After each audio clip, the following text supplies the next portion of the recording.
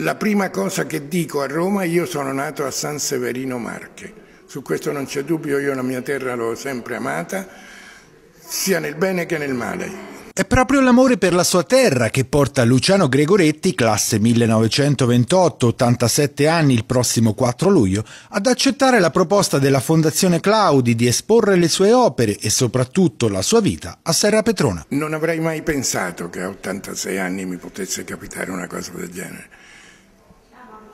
C'è stato un incontro che ha deciso tutto. L'incontro è stato con il professor Ciambotti, che è presidente della Fondazione Claudi di Serra Petrona, ci siamo conosciuti, ci siamo diciamo, stimati. Dopo due o tre anni lui è venuto a casa a Roma, si è informato su chi ero. Se vogliamo fare una mostra retrospettiva? E io accettai volentieri.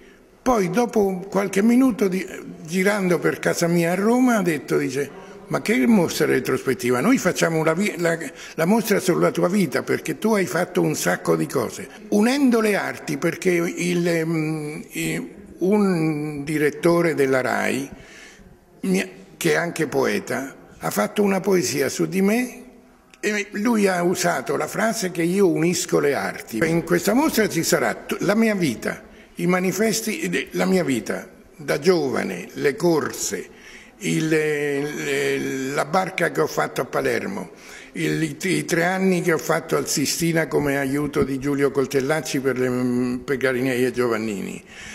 Ci sarà il cinema, l'Accademia di Belle Arti, i miei quadri, le mie sculture e un, di tutto un po'. La mostra rimarrà aperta fino al 13 settembre, ma intanto Gregoretti sta già lavorando su un progetto futuro. Io mi auguro che, di avere la possibilità di, di vivere ancora un po' perché mente, sto scrivendo già da un anno un libro biografico su tutta la mia vita, ma proprio quella, anche quella degli anni venti che non mi appartiene perché non ero nato. E così le racconterò e spero di pubblicarlo quanto prima.